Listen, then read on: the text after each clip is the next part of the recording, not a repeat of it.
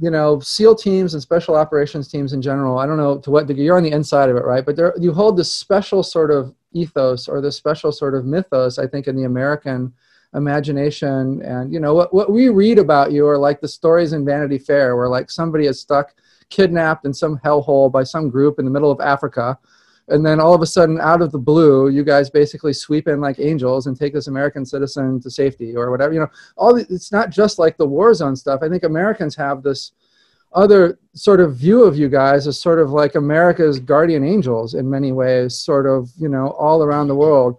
But i wonder what you would say about you know this form of consciousness this state of consciousness this type of consciousness and whether like you could absolutely never do that kind of job and be in it or whether it's ideal for it, or whether there are certain forms of it, certain types of it that are ideal for it, or you guys, you must have talked about that or thought about that. I wonder what you'd say. That's a great question. Oh man, how much time you got? Fun, yeah, funny story. Two seals and a walrus. Hey, welcome to Two Seals and a Walrus. I am Sean Webb. Okay, so today we have another interview for you.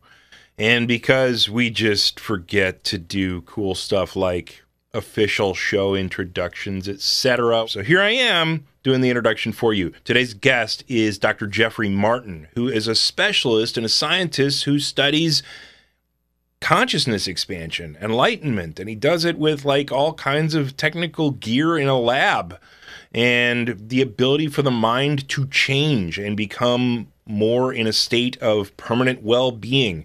And he's also one of the founding fathers of the transformational technology movement and helped put together that conference out in California where they start zapping your brain with different waves and different electrodes and things like that. And really cool technology that can assist people in increasing their memory, increasing their consciousness, increasing their well being. And he's one of the experts in that space. So we kind of got so excited to talk to him that we forgot to do a show intro. So here we go. okay, and so with no further ado, here is Dr. Jeff Martin. How you doing today, sir? I'm doing great. Great to be with you. Excellent. So you are an expert. How would you explain your expertise? You you kind of dabble in a lot of things, but you're into consciousness expansion in a very unique way.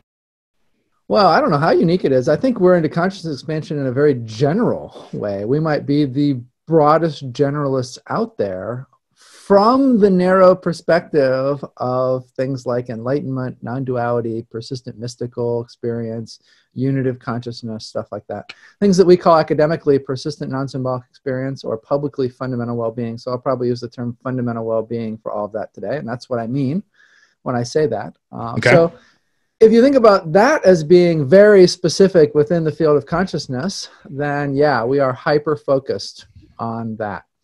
And uh, we've researched it for 12 years. We basically have the largest research project out there in it. Um, we have protocol, we have probably the most successful protocol that transitions people to it. We help people to integrate it these days. We do a lot of research. Most of our most of our research these days is on integration of it. You know, how does it unfold for you after the fact and that kind of thing. Uh, but on the other side, because I, we actually don't think it's that hard to get to. Um, right but it is hard to figure out how to get large numbers of people to you know so we our program we have a our experimental protocol is basically like four months long and some people will transition on the first day some people transition on the last day you know it's sort of like just who knows you know when somebody is going to have their transition occur 70% of people have it occur for them so it's pretty successful as things go um, yeah but that's not going to scale, right? So we also work on technologies for this. Um, as we make this video, actually, I just ducked out of a meeting happening in the other room here, um, where we're talking about getting that research to China and to Beijing and looking at what the logistics are of that and all of that. And so that's direct brain stimulation type stuff. Wow. So we literally try to zap the spots in the brain that have been shown in, in prior research that we uh, collaborated on and you know have collaborators and friends that did um, you know identified the regions of interest in the brain um, and so now we're finally have a technology that allows us to reach in and sort of tickle those. Uh, I was one of the founders basically behind the transformative technology movement, which is just broadly technology and well-being. 70 countries at this point, hundreds of cities, all that stuff. But I think I think really my personal passion and why I started the transformative technology movement is all around this this fundamental well-being stuff. Awesome. Now, for the folks who are brand new to this, would it be fair to say that your your work in transformative technology is basically building tech that helps people have a consciousness expansion or psychedelic experiences without the exogenous psychedelics, without any drugs? Is that fair to say? I wouldn't say psychedelic uh, because we're really interested in persistent forms of you know the maximum sort of well-being that people can Right. experience, uh, which Uh-huh. is not necessarily an accurate description of uh, many psychedelic experiences. um,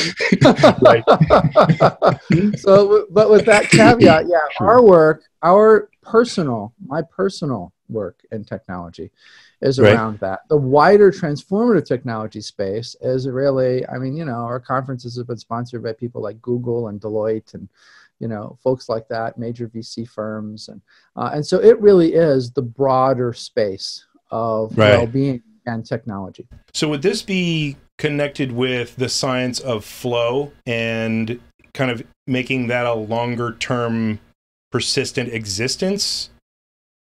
You could think about that. You know, I saw my friend Jamie Wheal a couple of days ago. We were both speaking at the same conference this weekend. Uh, so it was always a treat to see him. And he's probably one of the main, he and Steven Kotler, his partner, are probably, you know, the major public advocates out there for flow. His book, Stealing Fire, was, you know, done a lot in the flow space and the psychedelic space and sort of all of that. Um, so he and I have a have kind of a disagreement about this actually. You know, he's really into sort of temporary states of flow, and we've had we even just on one of his podcasts recently had kind of a debate back and forth about our view of this, which is that you know there that there's a sort of a persistent life flow state that's possible that you know we would definitely classify in the fundamental well-being bucket.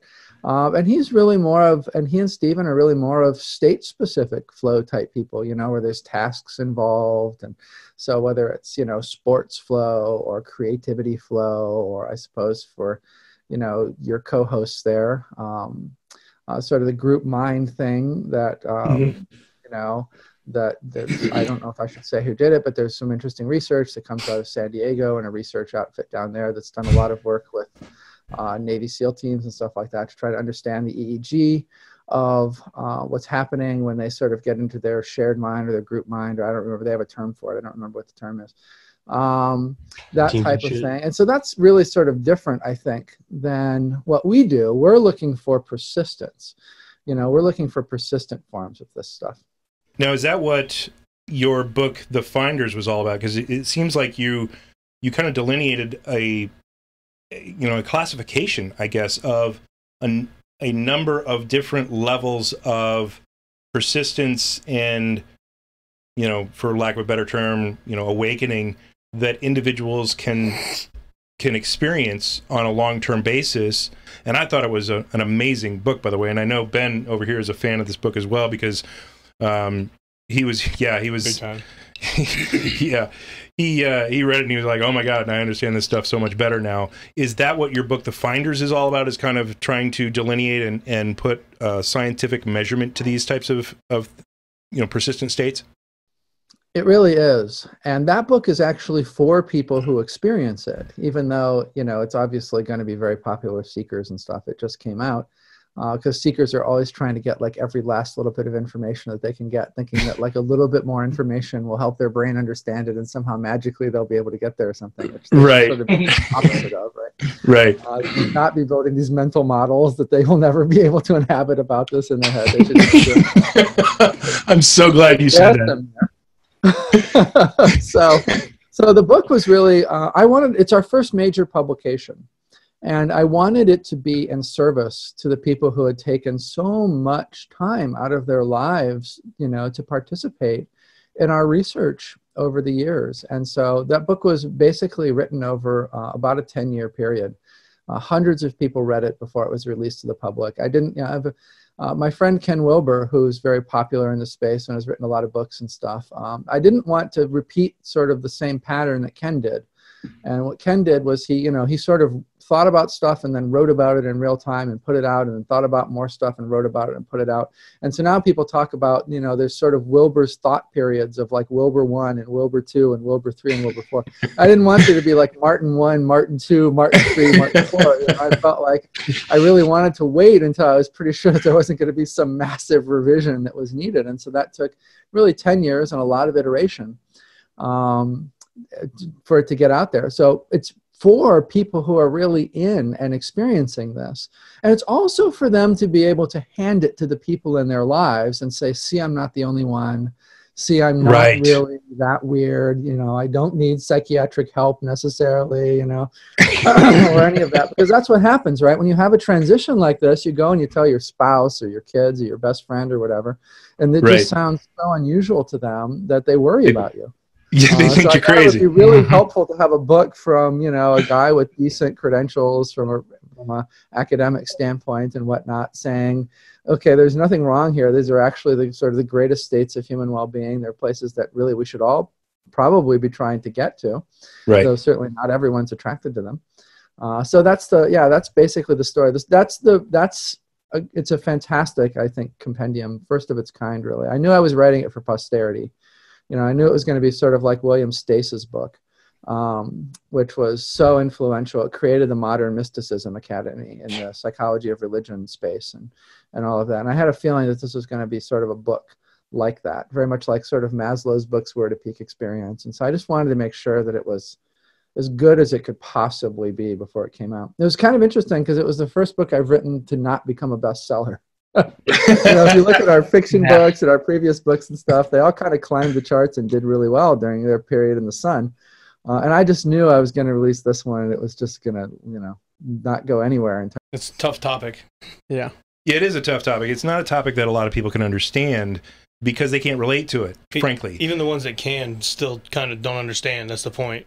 Yeah, it's right. Like, it's so, such, such a delicate topic. yeah, there's some people that are going to read it that that are going to be on the spectrum, on a lower spectrum, and not understand the higher, um, I don't know, levels of attainment or whatever you want to call them. That you know, like you you talk about um, being able to shift fluidly from multiple levels of consciousness back and forth, which is like a whole extra level within itself. And there are going to be a lot of people who just are kind of stuck in their spot that don't be that aren't able to relate to. And so even within the the target audience, there are going to be people, I believe, who things land with, and then some of them are going to be like, "Well, what? You know, I didn't I didn't really consider that or know about that. How much of that? Like, what what level of um, like if you had to to create a kind of a a bell curve, so to speak, where would you say most of the people that you're working with fall on the various spectrums that you that you put out in your book and uh, the finders? Well, for the vast majority of time, they fell in locations one through four. We, we can think of it if you haven't, if you're not familiar with this, uh, types of it. So you could, when I say location, you can kind of substitute type. Uh, if you're out Right. there watching. Um, and so, you know, the vast majority of them are really in locations one and two. Okay. And then down there, three. And then down from that, you know, four is getting pretty darn rare. Uh, Right. And then to go beyond four is much more rare still. And so these days, who we work with are primarily the people who are beyond four because we're we're working in that sort of later, rare, even more rare territory. And and the vast majority of people that you meet, they're in locations one and two. And you know, I think one of the things that we want to say about this right up front is that later is not necessarily better.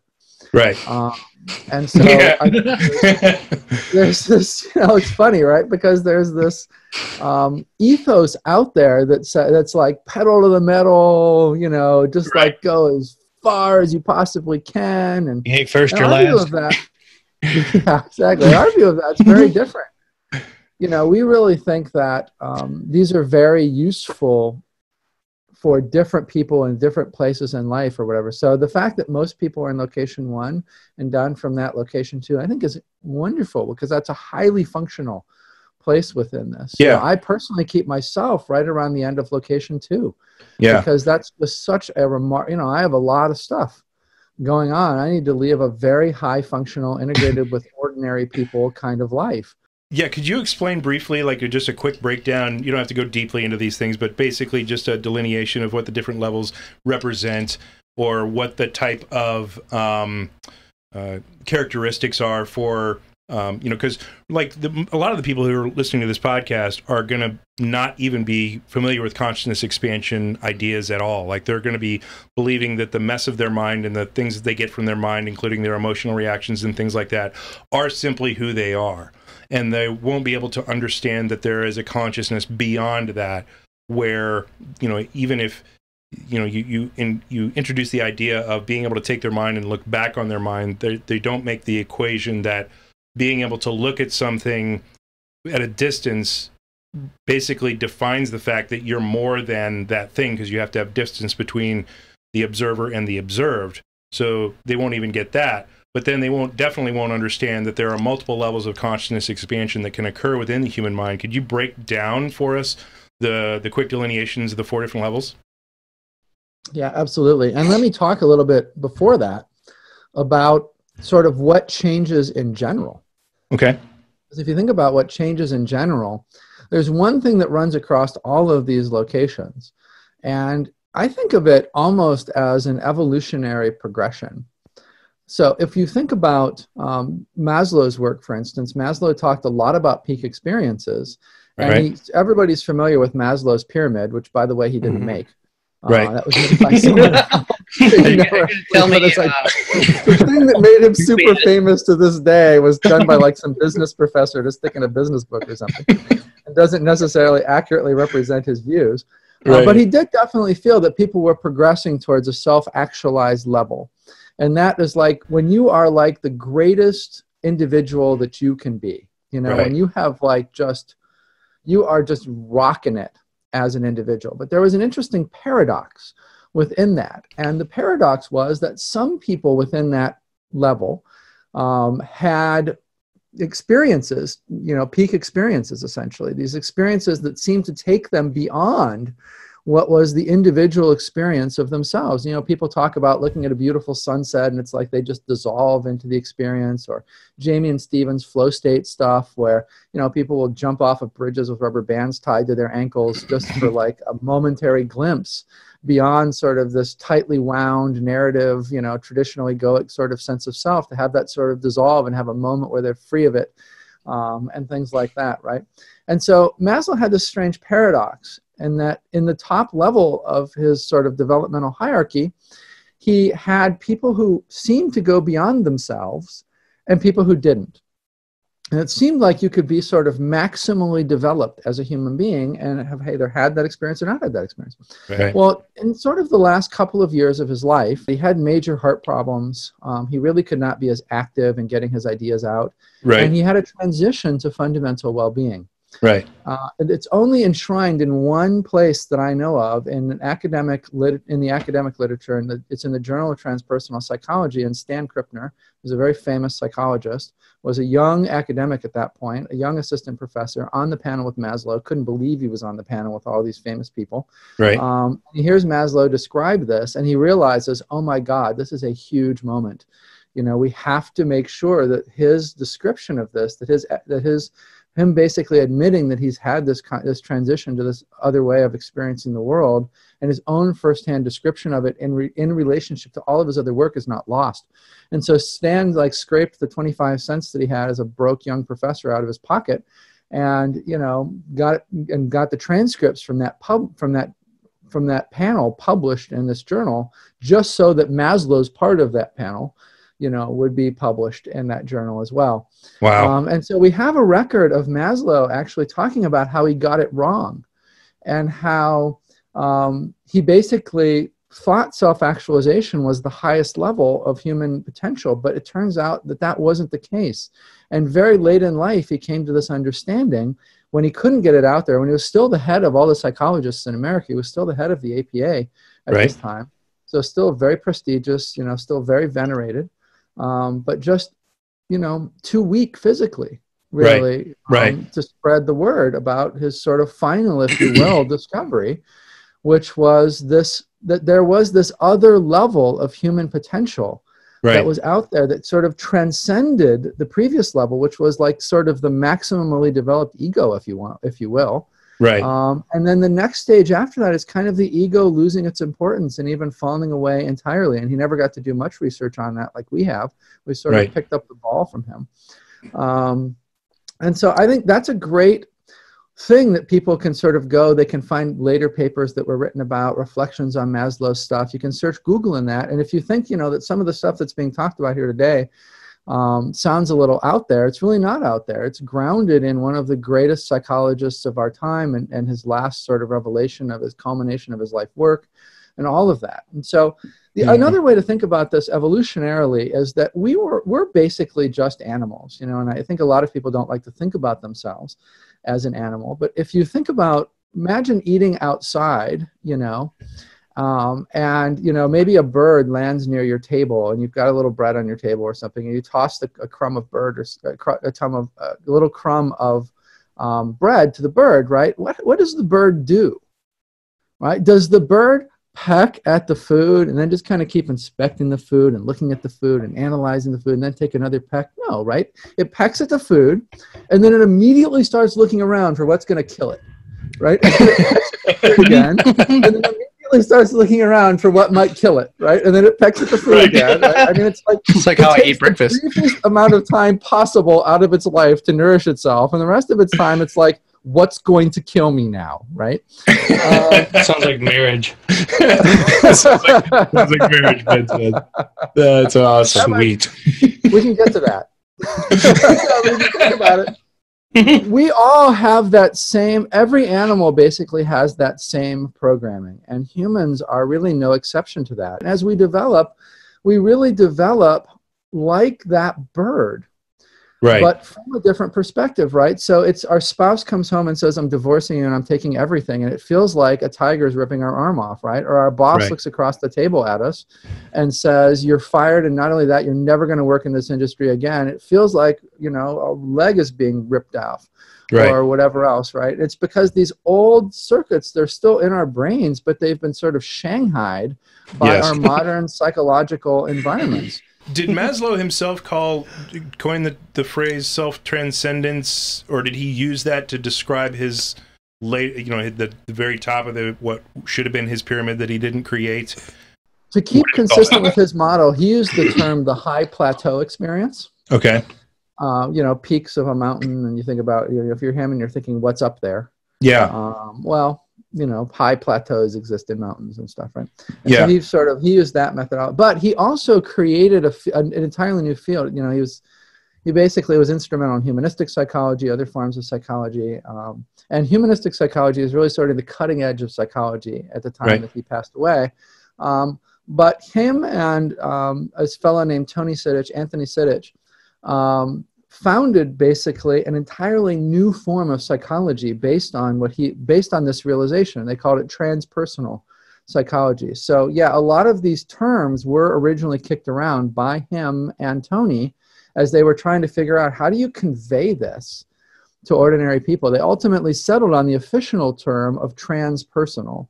Okay. Um, but a lot of the other stuff, you know, self transcendence and high plateau and all of that, they all sort of come from you know other iterations, other you know earlier papers, playing around with it, you know, you know stuff like that.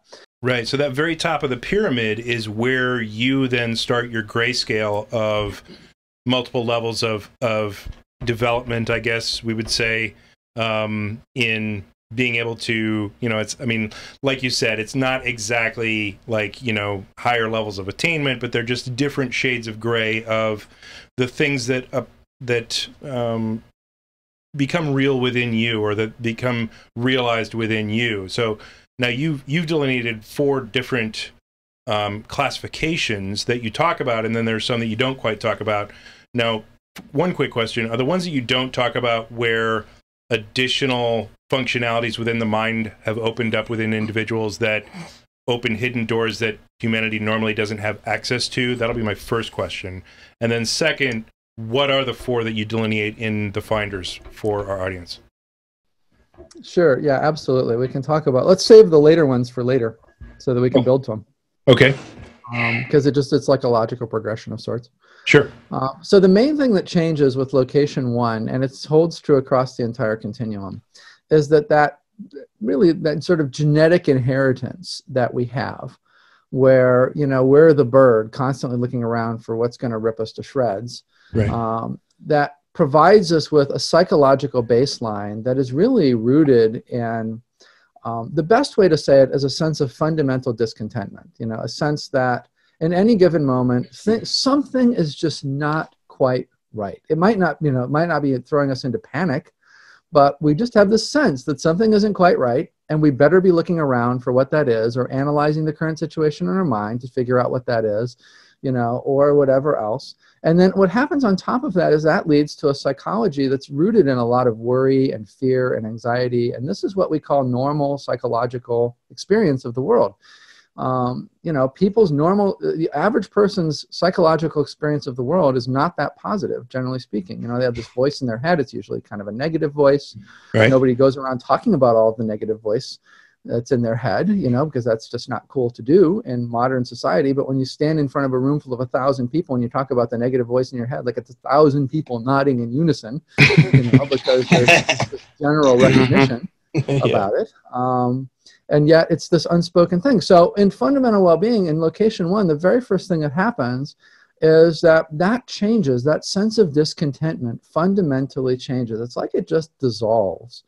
And underneath it is a sense that everything is okay, is somehow fundamentally okay. Now, that doesn't mean if you're in location one, if your spouse comes home and says, you know, I'm divorcing you and I'm taking the kids and, you know, all of your money and whatever else, that you don't have negative a negative emotional response to that. But it means that even in that moment of what we might call the most extreme psychological trigger, you can sort of look down, you can pause, and if you look down past all of that and you ask yourself, what is my psychological baseline right now? You find that paradoxically, somehow, things seem okay, even though at a more surface level, it seems like your world is falling apart. And it's, Right. it's odd, right? Because you're like, why in the world should this moment feel like it's okay right now? Like nothing is okay from a logical or, you know, whatever sort of higher level standpoint at that Right. moment. Right. Uh, and yet strangely you have this paradox inside you so that massive transformation is why i say it almost seems like a further evolution other things that go along with location one are um, a reduction in your uh, that negative voice in your head basically what we would call self-referential thought Right. um, it's basically thoughts about yourself and it turns out that most of the thoughts people have over the course of the day are about themselves you know like gee should i have worn the brown jacket on you know sean's show or should should i have worn a blue one or maybe i shouldn't wear a jacket you know all those psychedelic prints over there maybe i'm just like really wrong for you know all of these neurotic thoughts that people normally have right. about you know that just go on in their head all of the time those quiet down or at the very least they lose their emotional saliency they lose their emotional power over Right. them and so uh, people will say you know all of my thoughts went away and you know of course all of their thoughts didn't go away when you really dig into it but what went away or, or what was really reduced in power was those self-referential thoughts you have negative emotions that fall off much more rapidly and so a great example is a car cuts you off in traffic. I heard so many research subjects use this over the years. A car cuts you off in traffic and you know you're no longer like following them for six blocks tailgating them you know trying to make them uncomfortable making them feel like oh you pissed off the wrong you cut off the wrong person here buddy um, you know it's like you may flip them off and have some choice words for them but then there's like a time you know then it drops off right away and you're sort of going on with your life Hey guys, we're going to jump back into the interview with Dr. Jeffery Martin in just a second, where Jeff actually asks our resident SEALs how their consciousness expansion experiences that we had back in February have adjusted their perspective as Navy SEALs. That's going to be an interesting portion of the conversation. But first, I wanted to point out that we are a viewer supported podcast. And so if you would like to support us moving forward on the little things we have to buy or the travel arrangements that we have to make to make this show really cool, etc., uh, just stop by Patreon. Patreon.com slash TSAW for two seals and walrus, and then you can become a contributor for just like a couple bucks a month, even would help us out uh, because your contributions get added to others, and then all of a sudden that becomes a little bit of money that we can actually use for production of the podcast and paying for the bandwidth and things like that that we really need to have happen for us to continue these awesome content deliveries to you. Back to the show. These are sort of some of the major changes that happen in location one. In location two, it's kind of more of the same. Okay. So in location two, you have a further reduction in self-referential thought, you know, um, an increased sort of tendency towards positive emotional valence, um, and stuff like that. But something else kicks in at location two, and that is a perceptual change, commonly called in sort of religious and spiritual circles non-duality. Um, and I think the best way to think about um, non-duality for people who are who are sitting out there thinking, "Gosh, do I experience that? You know, what the heck is he talking about?" Is maybe to just give you a little quiz. And so here's a way that I, in a real shorthand sort of way, you can tell sort of uh, if you're non-dual, Okay. um, and to get a sense of like maybe what it's like, right? So think about just whatever you're looking at right now. Um, so maybe you're looking at the screen and it's this podcast more likely you're probably listening to this in the background or reading something in another tab of your browser or right because we all know what we do when we're watching these things um, maybe you're looking at a room or you're just looking at it so maybe you're looking at somebody else. Whatever it is whatever you're looking at i want you to just pay attention for a moment to how you're looking. And ask yourself this question. How is that showing up for me? Is it showing up like it feels like there's sort of this something in here, something in my head that is looking out. I can tell there's like this thing. It's like there's some looker. There's a part of me that is a looking thing, right? And it's looking out, and I'm here, and it's looking at that page and that web page over there, or that video with you guys in it over there, or you know, or the scene, or this room, or whatever it's looking at. But it's something that's clearly here, and it's looking out at that page or whatever, that computer screen or whatever that's over there. Right. Um, or is it showing up uh, sort of this way? You know, when you just sort of are looking, does it seem like everything is just sort of showing up? Like there's just sort of this, if you will, sort of field of visual perception or field of visual information. Just everything is just sort of there. And it doesn't feel like there's something here necessarily looking out of it, looking out at this thing that's over there, but it's just more like everything is just sort of showing up. Now, there's all kinds of different ways that that can appear. So, for instance, it could be like it could be showing up like it's sort of out there, but I'm still here. Right. But it's still just kind of showing up out there, and I don't have this sense of a looker or a seer or anything that's looking out. Um, but nonetheless, it's like it's showing up, but still I'm here, and it's all kind of out there, but I'm still here. Or Yep. it can be showing up where it's out there, and I'm kind of just a part of it, and it's all just sort of this one thing. Yeah. Um, and so depend those are all shades of gray in the direction of non-duality. So the traditional way is how vast majority of people in the world would describe their visual experience, which is it feels like there's something here looking out at something there. And then a non-dual perception involves from a visual system perspective, basically involves just sort of that unified perception, that final example where you open your eyes and everything is just sort of there, or even if you close your eyes, everything is just sort of there, including you, including the sense of you. You're just a part of it. And it's all just sort of showing up as one thing. There isn't an I'm here and that camera's over there. Right. Uh, it's just, it's paradoxically all just sort of seems like one thing. And so that type of major perceptual shift is really the hallmark of a location two experience in conjunction with the other things that I mentioned. Um, another thing that happens is, is that there's a sense in people that there's a right path or a right choice to make Mm. in most moments. And so mm. like you'll location two people will talk about, well, this just feels like what I'm supposed to be doing, or this just feels right.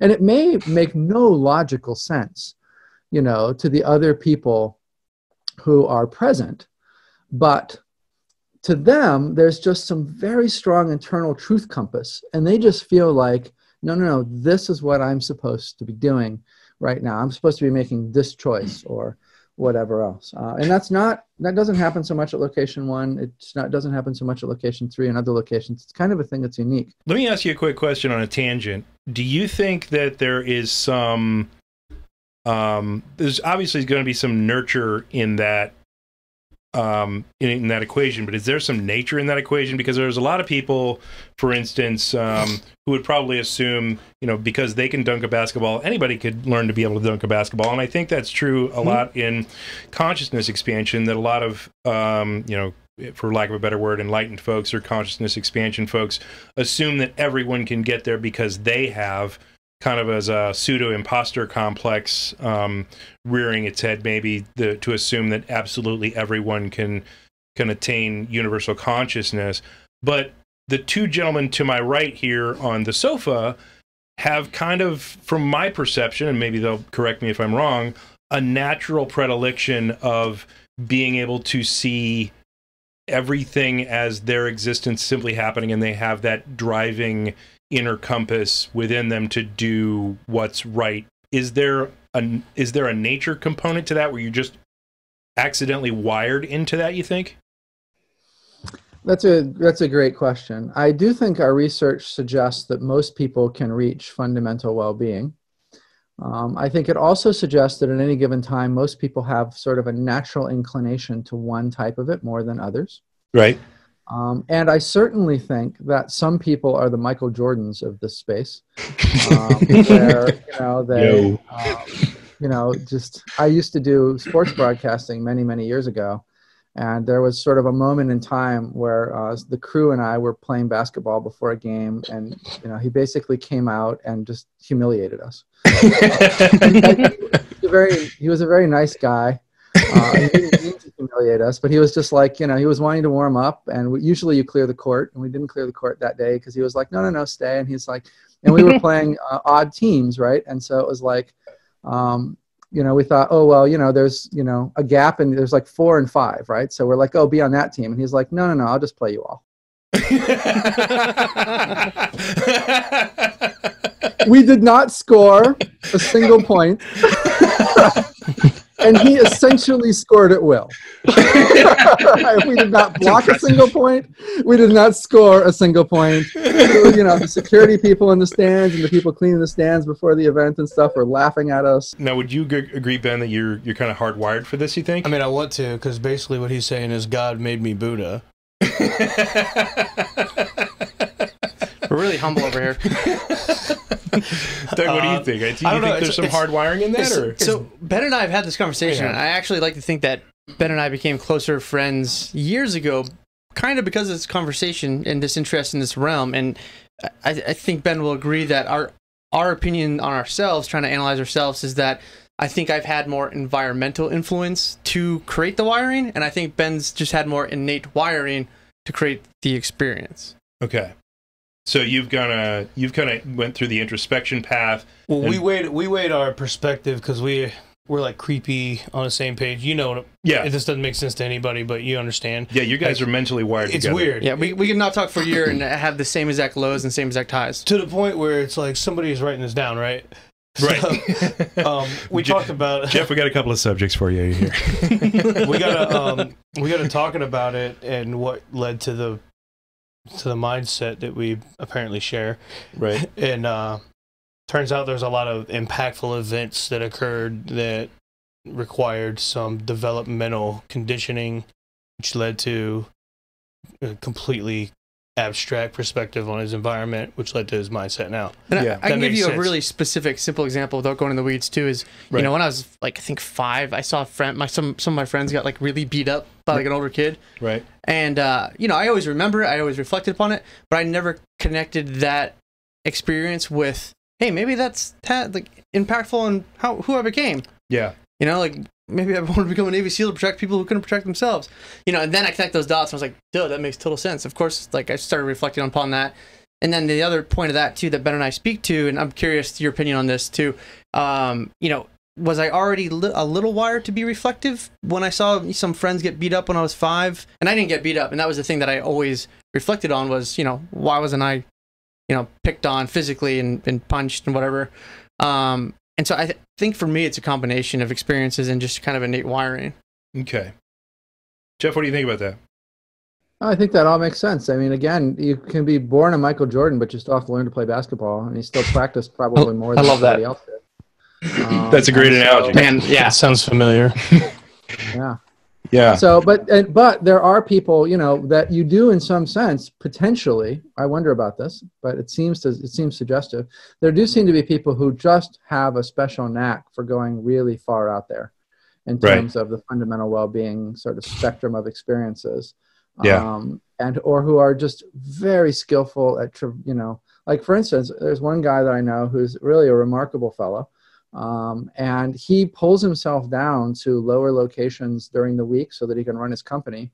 Yeah. And then every weekend he basically spends alone, um, just you know, sinking into PNSE, and he shoots himself like a rocket out into these later stages, Right. and then reels himself back in for Monday morning. Uh, you know, the average person in PNSE is not the average person in fundamental well-being is not able to do that. right. Uh, there's something special about him. You, you just described my creative process, like in a nutshell. Yeah, Ben. Uh, Doug has a has has a startup company that he that he works in technology, and he does a lot of internal thought experiments where he kind of shoots himself out there and.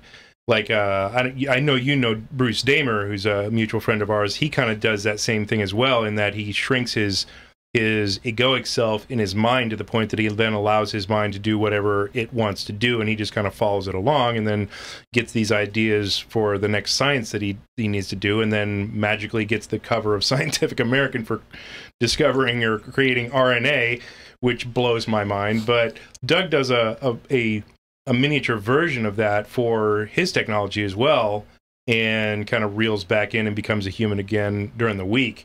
Yeah, and what I've realized too is I've, always kind of been like that. Um, and so once I leaned into it and kind of tried to dir- direct it, uh, some really interesting things started happening. And I came up with some interesting concepts that got funded, and you know now they're kind of the leading products for the startup. Um, so you know I think that goes back to kind of being self-aware enough to embrace or lean into who you are. Or, you know, if you're born Michael Jordan, you still have to learn how to play basketball, and I think that applies to any unique skill or ability. Yeah. Let's go on to um, to position three and position four. What are those delineations? Yeah, so location three uh, is kind of the classic end of the Western Abrahamic tradition's mystical paths, uh, and also some of the Eastern stuff. And Okay. it basically involves a transition. By the end of location two, more or less, you're in a positive emotional valence pretty much all the time. Right. You know, like if your parents die or something, you know, you're going to have some hit there. Right. Um, but you know, without a major hit like that. Yeah. Um, then in location three, you you really your emotional experience transforms considerably, and it primarily becomes about love and about sort of a combination emotion that is sort of a combination between love and joy and compassion. It can be some other stuff in there, but based on your um, cultural upbringing and you know stuff like that. Um, so it's got some flexibility, but it always seems to have that core, and so it's um, it's dual again, even though people generally don't notice it. Um, Right. And the reason that we classify it as dual, and we're not the only ones, it turns out I was uh, talking to uh, John Hagelin one time. I was having dinner with John. We were both speaking at the same conference. He's the guy who runs Trans- Transcendental Meditations organization, basically, I think in North America. Um, but he's run for president and you know he's done all this stuff. He's an amazing physicist. And, um, and he was running me through his slide deck for the talk. He had this slide that was drawn from the Vedas, and it had four levels. Um, and you know, the first one was dual, like location one is. Yep. Second one was non-dual. Third one was dual. Fourth one was non-dual again. And our, Wow. we see a pattern exactly like that in our human subject research. And I thought that Right. was really fascinating. He's the only other place, you know, the only other person that I've ever seen that sort of had that, and he had Yeah. it from their literature from thousands of years ago. Oh, that's cool. that's so cool. When you can do something that you wind up like, you know, I wrote the I wrote the books, the mind hacking happiness books, right? And so I put Easy, together the mo- Tiger. I know, right? I gotta I gotta plug my Book books. plug. All right, so but I came up with the uh, the model of emotions that I just kind of you know eyeballed and put my thumb out there and said, okay, here's here's basically how all of our human emotions works. Here's how they're classified. Here's how the the soup nuts and bolts of how they come to be within your individual human mind, and this can be applied internationally to anybody who draws breath. Basically, it's a it's a model that fits. And ironically, the really cool thing that happened was that um, the um, the the gods of of psychology and emotions. Um, Like Ekman and those guys. yeah, Eve Ekman and her father, um, Paul Ekman, like the gods of, of of emotion, came at it from the data side, and basically they are cookie cutter exactly the same. And so it was so nice to be able to say, yeah, I kind of put this thing together and explained how emotions come to be. And oh, by the way, here's all the pieces that they don't have. But the good news is their their model of emotions and their atlas of emotions is exactly the way I portrayed in the in the mind hacking happiness stuff. I was like, oh, that's so cool. Shoo! Thank God I don't have to make a case for Yeah, you know it's really nice to have that second data point. I'm with you. yeah, so having your work be uh, be you know uh, supported by thousands of years of of Vedantic uh, history is is amazing. So that's really cool. That was nice indeed. Feel like there's a in three. You feel like there's a, a union. The reason it's not non-dual is that you feel like there's um, a union or a merging with either the divine, a sense of the divine. Right. Some people get that. Some people get not a divine version, but more of a panpsychist version, which is a philosophy term mostly that Right. deals with like a sense that everything is conscious, uh, that or everything is made out of consciousness, or you know something like that. It's a Right. thumbnail of that. It's a complicated area, but Right. just to, to thumbnail it. Um, and so people, it, I think it's fascinating because people who get the divine version don't usually switch over to the panpsychist version. People get the panpsychist version don't usually switch over to the divine version. It's like maybe people are wired or programmed in certain ways, and they sort of go down one of these two experiential tracks. Like I've not had a divine experience in location three. My Right. location three experience is panpsychic.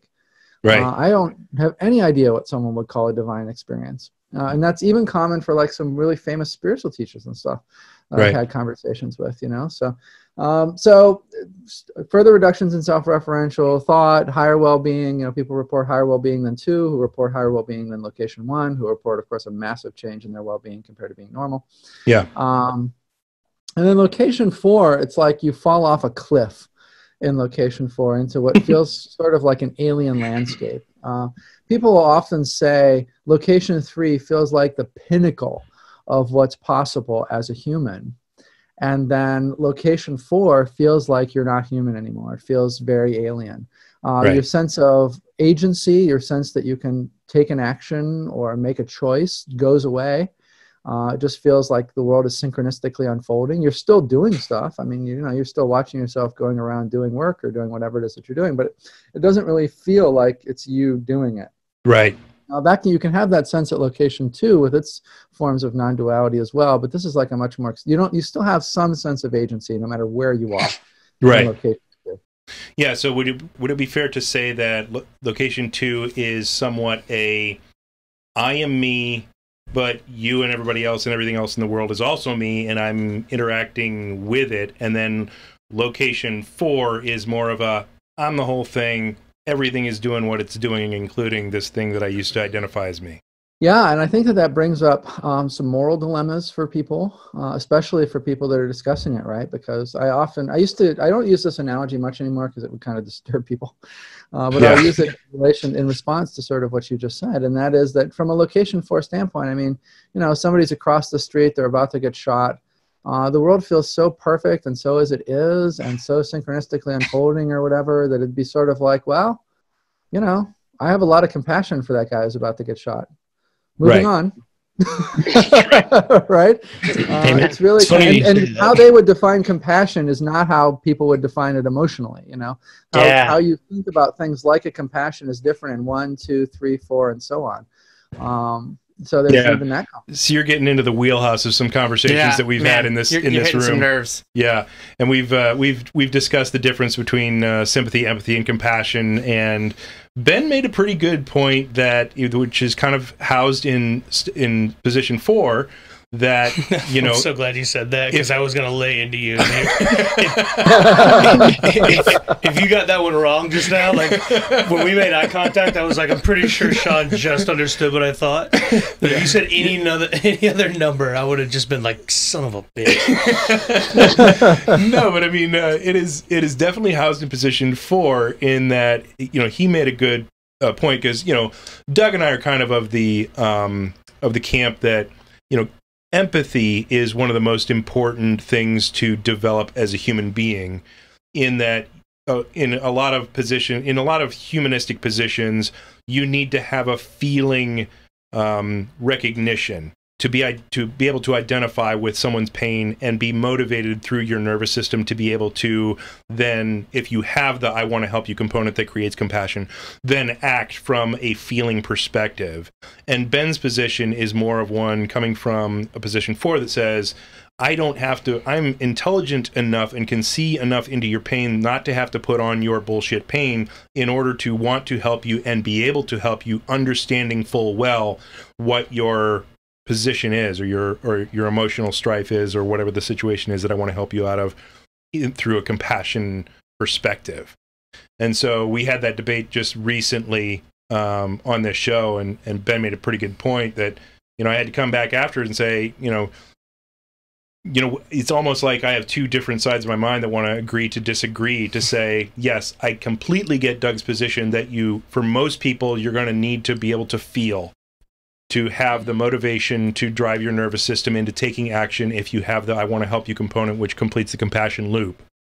However, um, I also see Ben's point that you don't necessarily have to put on the pain if you can understand it to the level of being able to break it down and see every component within it from a mental standpoint and still have the I want to help you component, which officially uh, classifies as compassion and be able to render aid.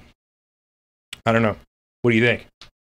Yeah, absolutely. It's these types of shades of gray across these different emotional expressions and stuff that you see. Um, and that, you know, I remember, um, so I think you and I last saw each other at uh, a party that Rick Archer put on. Yeah. Um, right, at uh, the SAND conference. Yeah. Around the SAND conference time, Science and Non-Duality conference time. Yeah. And I remember the year before that, I had helped Rick do a show for his podcast, which is mostly about people who experience this kind of stuff, if people haven't heard of it. Right. Um, that brought together all of the non dual, not all, but a lot of the non dual teachers um, from that were speaking at that conference, which is Right. mostly there's a ton of people who are in location two, frankly. Primarily. Right. Right. Um, and so I remember thinking when Rick was first proposing that idea that I better bring like, you know, some gallon jugs of baby oil and whatever else because it was going to be just like a free for all. Yeah. Right? And I'm like, okay, you know, how, how am I going to make this more entertaining for myself while, you know, they're just fighting it out on this panel? I got some level Well, four we'll get, a, ideas get one of those baby, you know, pools. We'll get some. We'll make a sport out of it. Um, and I was stunned, frankly, that because when I was going around doing interviews 10, 12 years ago in that community, um, there was harsh criticism of those people towards each other Right. uh, you know, harsh criticism. And it was a lot around these types of topics. It was a Right. lot because, you know, they were in slightly different parts of location two. So they had slightly different forms of non duality. And it would be like, oh, well, you know, I'm the only real one that's in fundamental well being. All of the other people that are out there, they're not really in fundamental well being. And it would, you know, it would revolve around these feelings like of compassion or how love was showing up or how whatever. And, you know, they were listening to each other. They were tracking each other in most cases from a Right. business marketplace type standpoint, right? Um, and then they were heavily criticizing each other in the most brutal ways imaginable, Oh boy. privately, behind closed doors. You know, Right. to- Right. Of course. And I can't say some people on that panel were research subjects, some people weren't research subjects. Our research subjects are anonymous. Um, Yeah. You weren't a research subject, so you know we can say that. So I'm- Yep. I'm safe there. Yep. Um, and and these differences, you know, it's these types of subtle differences, these types of subtle shades of gray across all of these experiences that have led, I think, for millennia to strife um, around notions of this. And I was amazed when we were doing that shoot that people were so cordial to each other and so respectful of each other's viewpoint. And what had what I'd missed is that I, I helped a little bit with the first Science and Non-Duality conference, but I hadn't been back to one. Okay. Um, and uh, you know, I love Maurizio. I love the work he's doing, and Zaya, and what they're doing. And Nick Day was involved early in that and stuff. Uh, and those they're fantastic people. I think that's great. You know, but what I'd missed is that something that their conference had, I think, done is forced these people for the first time to get together, year after year, in an environment where they couldn't be hostile. Uh, they couldn't sort of have these hostile views towards each other because you know there's a live audience right. Right. Yeah, it, you don't just want like one stage presentation to be dissing the next stage. Pres- there, there had been a community, a cultural change in the non-dual, sort of what I would call the neo-Advaita community, or the or the modern non-dual, Western non-dual community of teachers. Right. Right. Um, that stunned me in in how different these people were in interacting with each other than they were seven years ago. You know, seven years before that, or however long it had been since I'd made my research pass Right. um, through their community. And so I think on the one hand, yeah, there are these there are these very significant differences. But on another hand, what's happening is that a lot more communication is occurring between people. There's a lot more respect between people, a lot more acceptance of okay, well, you're here. And you're a great example of it, right? In one studio, you know, you have three people experiencing probably three different, slightly different versions of this. Right. Um, and so it's like, you know, you, but you have a tremendous respect and you're able to have dialogues around it where not that long ago, I would say even a decade ago, those types of dialogues, man, I just wasn't seeing them. I was going across every community imaginable for our research. Yeah. And it was always like one guy dissing another guy about how, well, I he's almost enlightened, but I'm the enlightened one. Right? And here's why. How, how there's non How non-dual of Yeah, your right. assessment? Doesn't that negate- I'm, I'm enlightened as fuck. What's wrong with y'all? I think the I think the sand conference is actually just a really big scale joke. Listen, They're like let's listen. put all the non-dualists together and see if they disagree once. Listen, there's more God in my head. you know, I, I, I think you nailed it on the head. You keep mentioning it, and I love that you keep bringing it in to the fold because I think it's important. You know, you refer to shades of gray, and I remember having a conversation with my parents a couple years ago when I realized that I had a vi- very binary uh, way of not only viewing the world, but I had a very binary way of thinking. And once, and, and it's, at the same time, I kind of realized I- I am I am an emotional person more so than I realized, and I had conflicting emotions at the same time. Once I became okay with that, I started to realize, you know, shit, everything's everything's a grayscale, like, and that's okay. And I think that's so important to highlight. Yeah. Absolutely. Yeah. Just Ab- not if you work for the government. exactly. If you work if you work for the government, and there are no extenuating circumstances. Whatever they said back in the 40s when they wrote it down is that's what goes.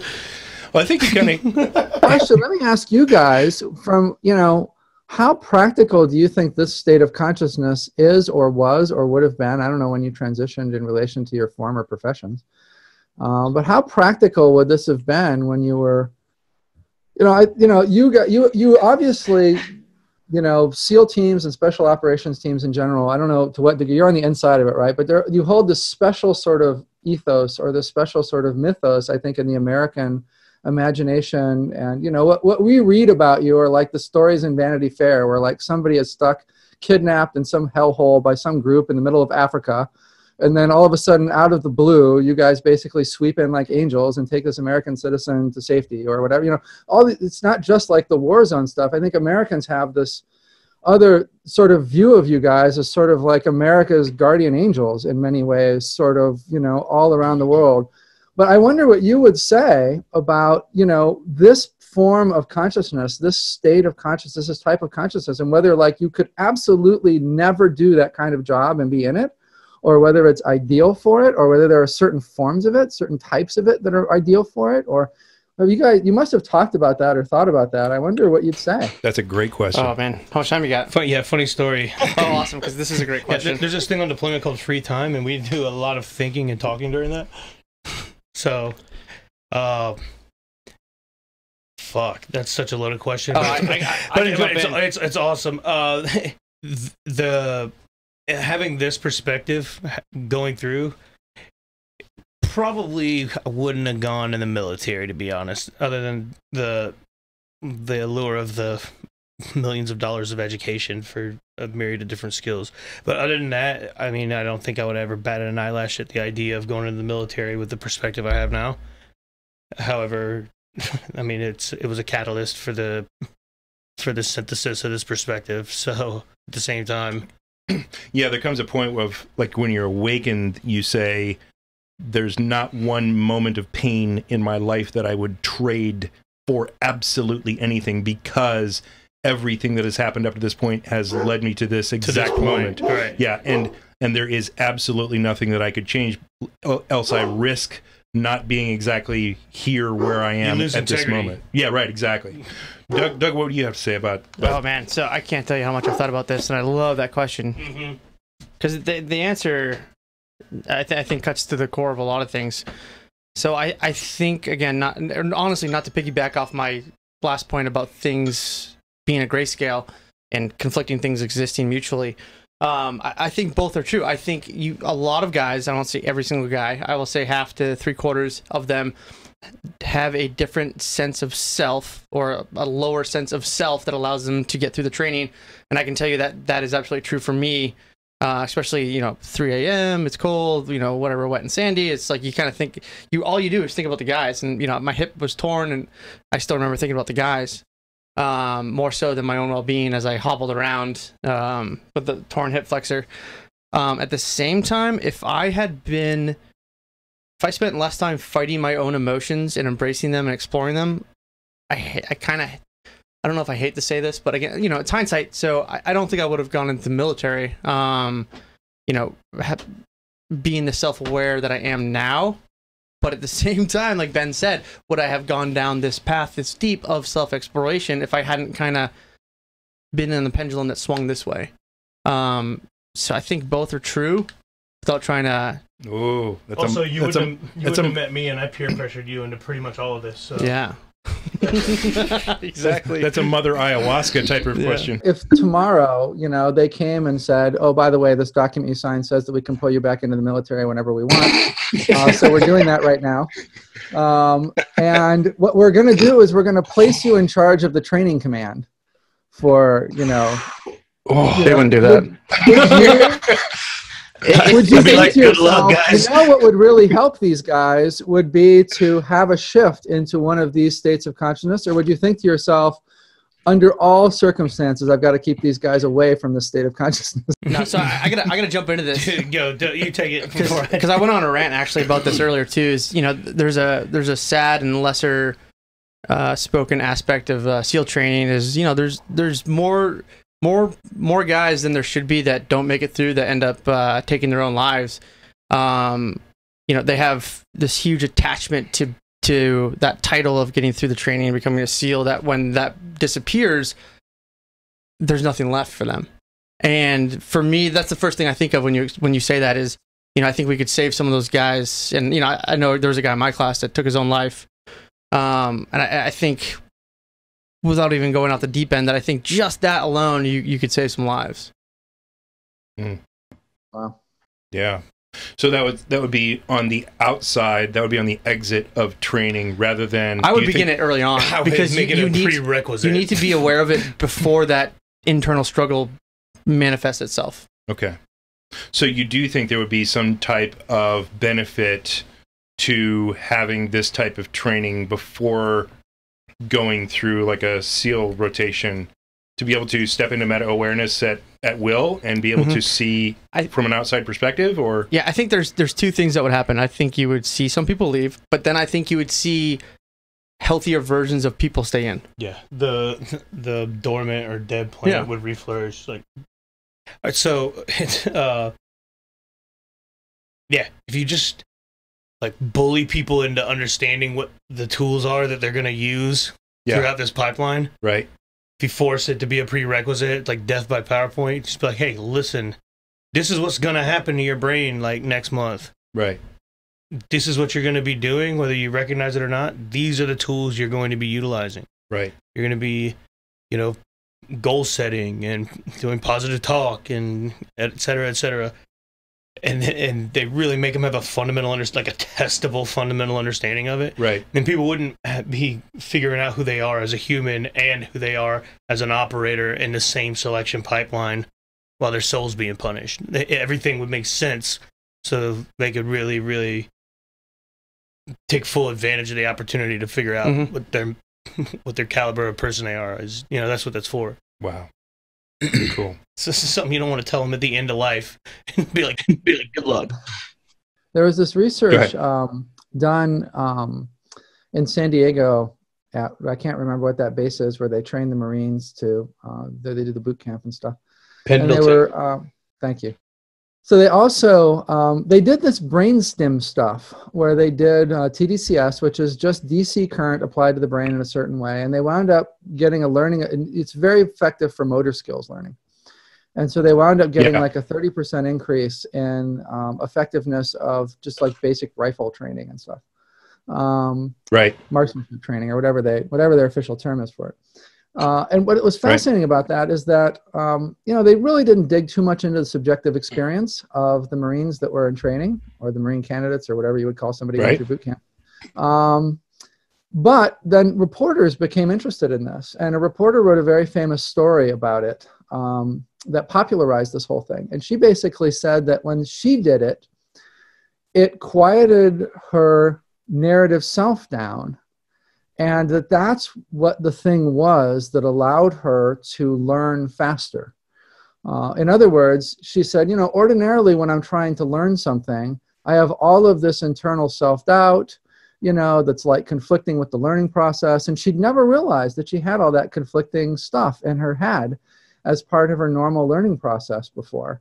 And, you know, now Hmm. in, with this technology, it basically quieted that down. And she's like, it was like the information and whatnot could just pour right in with much less resistance. And so I, I could also see maybe some benefit from a training stamp. You know, we- what what made me think of that was your thought about people don't have to figure out both things while they're going while they're undergoing some some course of training. Um, it, it- might also be having figured that out ahead of time that it makes the training a lot more efficient. Well, I um I'm pretty well known for having zero breath hold capacity whatsoever. I mean, as, as soon as I close my eyes to like put my face in the shower, I start chicken necking. Like I just I'm not good in the water. But um there's some pretty notable first phase evolutions. I, like I tied all five knots in the underwater knot tying evolution, which requires a whopping like 40 seconds of breath holding. But it seems like eternity for me. And then uh, on when I passed pool comp, I, was, I held my breath for so long that I got like basically almost written up for it, even though I passed. I mean, guys, guys have died doing that too. right. Just So like minutes of a breath hold, which I can't even I can't even conceptualize. Yeah, and so you think you get you think you got yourself It's very clear that there was something else taking place than my own personal assessment of my capability. And also, that assessment in reference to the circumstances, et cetera, et cetera. Like there was something going on where a, a part of me that needed control had control. Yeah, and so you you kind of got yourself out of the way. Jeff, would you say that's a fair assessment of of what's going on scientifically? You get your your default mode network kind of out of the way, or your your self doubt circuits out of the way, and and just perform. Yeah, yeah, sure. And of course that happens with flow too. So it could have just been a flow state, you know, that you entered into. So. So let's talk about Transtech. I want to be uh, really respectful of your time. We're going a little long here, but I wanted to talk about Transtech real quick. In that you mentioned transcranial direct current stimulation, you're doing some transcranial magnetic stimulation. Is that a very focused magnetic stimulation? What you- what is it that you're working on that has gotten such a buzz going in consciousness expansion? Because this really interests me, and I want to hook up when I'm out there next time. I want you to wire up my brain and zap me. Yeah, you totally have to do it. Um, so what we're doing is we've done we've done everything. Okay. There's no form of brain stimulation, you know, that's that's external. It doesn't require us drilling holes in your head or something. Okay. Um, Good. We don't want us to do because we're we don't specialize in that. Okay. Um, but there's really no form of it that we haven't experimented with, and right now we're experimenting with a very uh, um, really the latest and greatest, which is transcranial ultrasound stimulation. Okay. And what we're doing is a number of years ago, say from 2009 to 2011, roughly, we collaborated. I'm not an fMRI person, I'm more of an EEG person in terms of brain measurement. And so we collaborated with different fMRI people all around the world to sort of get a picture of what was happening in someone's head when they were experiencing fundamental well being and these different types of fundamental well being. And it gave us kind of a map to hit, but we didn't have the ability to hit it with external stimulation. We could hit it with neurofeedback in an fMRI machine, but that's expensive and rare and not practical. We tried a lot of stuff with neurofeedback in general, but there really didn't seem to be a way to make that widely accessible. So we began working with brain stimulation, and now we're finally to a form of stimulation that is actually able to reach right into the brain and activate those different places that were identified previously. And so, for the first time, I think in human history, we're able to really stimulate um, someone and shift their fundamental well-being, deepen their fundamental well-being, um, as well as um, we haven't played as much with transitioning people. We've just done some proof of concepts around transitioning people because there's some complications around that. I mean, if you're in one state of consciousness one moment and it's normal, and another state of consciousness in another moment, you know, there's just Right. some protocol things that we really sort of need to work out. But I've seen enough. We've done enough piloting that um, I really don't have much doubt that uh, ultrasound is going to be used uh, to transition people. And actually, let me talk just a little bit about this because this goes to one of your earlier questions, maybe even your some of your earliest questions in this interview, and that is, are these states or kind of organic things that you know just uh, are what they are, um, part of evolution? Um, you know, are they shaped more by culture? All of that. Well, one of the interesting things that we're finding, of course, in the book, in the finders, we have these categories, these types, and these types seem consistent around the world, across traditions, you know, spiritual and religious traditions, philosophical traditions, whatever, uh, across cultures. Um, it does seem like if you do certain practices, um, you unwind your brain in a certain way and sort of rewind your brain and your brain circuits and stuff in a certain way that you get to a, an experience that's, that's pretty similar to what other people experience that do similar things. Mhm. I long wondered whether or not those places that people got to subjectively in their experience, those rewirings that happened, were a result were sort of the the places that you would just get to naturally no matter what. Like that's just how this stuff has to show up. Or Right. if it was something about the symbiotic relationship between the humans and the methods that they developed and you know where they eventually got to and whatever else. And we're really able to actually ask that question for the first time with this new brain stimulation technology. And we're able to say is it really just these categories and are they what they are or can you take a little of one or a little of another one or a little of a third one and just sort of you know by directly stimulating the brain create hybrid forms of these things that the brain can't necessarily get to on its own using only subjective experience and manipulation of subjective experience with meditation or prayer or whatever it is as a, as a technology.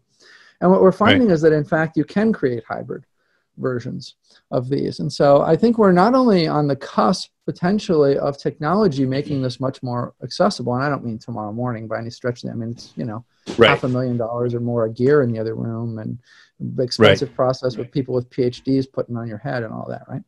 Um, so it's not going to be in your living room anytime soon um, but it will probably eventually be in your living room and or at least at a local clinic first or something.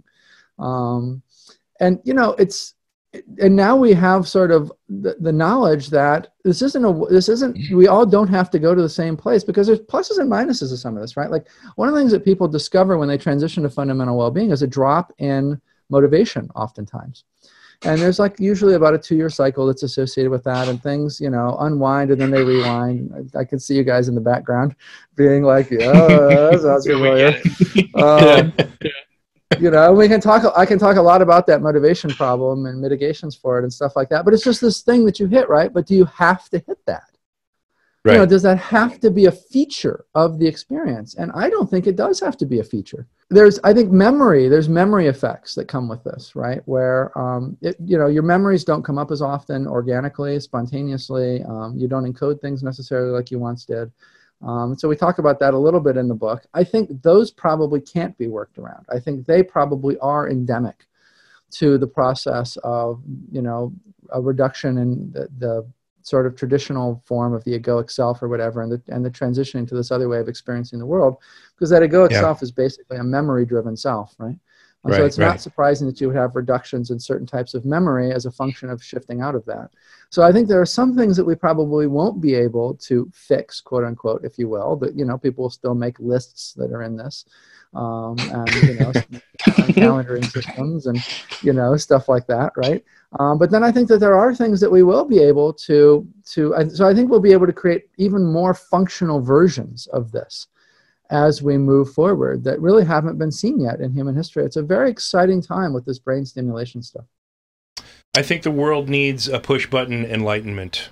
Period. I mean, regardless of of you know how they have to get there through technology or you know like we're we've been dabbling, dipping our toe into the world of uh, entheogenic psychedelics and serotonergic uh, compounds and things like that on this end, just to put uh, some intellectual analysis to it, and for my own purpose to you know compare an endogenous experience to an you know exogenous entheogenic experience you know, I think that no matter how you find it, I think it's it's just critical for society as a whole and as many people in the world as possible to to find these persistent states. Because I mean, you know, obviously it was the Dalai Lama that said you can't have world peace without inner peace, right? And I think that's a critical first step uh, for us to be able to attain that stuff. So I I laud your your scientific prowess and your scientific exploration into this realm, um, we're going to come see you. And we're going to get some stuff strapped to our heads. Absolutely. Yeah. And uh, and we're going to be some guinea pigs for you to, uh, and we'll do another episode with you on your turf, where you can show us all your cool tech. And uh, Do Man, we just sooner wanted to- later because we're seriously thinking of taking the core part of the project to China. uh-oh. Uh, to Yeah, no, wait.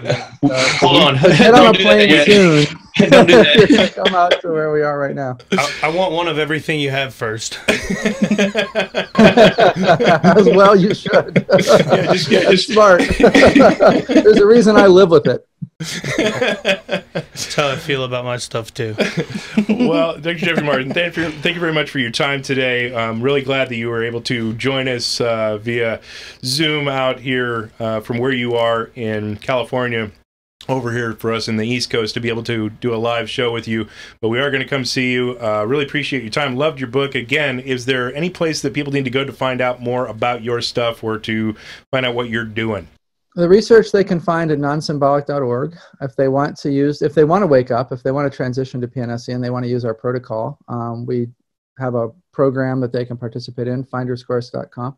If somebody is watching this and thinks that they're in it, the book, but also um, there's a mini course that we made with the most important things for someone to know on the other side of transitioning to this. It's at explorerscourse.com and it's just like a free course. You can just go. It's like three hours of videos, but it covers the stuff that we think, you know, if you've had this happen to you, like you should hear this out of our mouths uh, to help contextualize certain things and uh, stuff like that. Uh, so that's another that's another resource. Oh, he's frozen. I was like, man, he's building suspense. He's is building some suspense. oh well, all right. Well, so uh, here's the thing. Uh, we'll finish for for Jeffery if you'd like. Search for his book on Amazon, The Finders. It's a really good read if you're into consciousness expansion and understanding the multiple levels of Maslow's very peak of his pyramid. If you want to understand the gray scales that exist beyond that peak and how science can measure those things. I thought that uh, discussion was amazing. That was great. I mean, he he he articulated some things that I think just were connecting dots of a lot of our points. You know, Yeah, yeah, I agree. Ben, what did you think? I'm excited to go uh, go pick up what he's putting down. Yeah, no doubt. Go get hooked up into his uh, technology out there for uh, Mhm. enlightenment. It's cool. Okay, so subscribe to this podcast, hit the bell icon. We're only going to get you good stuff out on the internet. Uh, go to two sealsandawalrus.com, sign up for the email list because we're going to give away free stuff to the folks who have signed up earlier rather than later. We love you. Talk to you soon. Peace.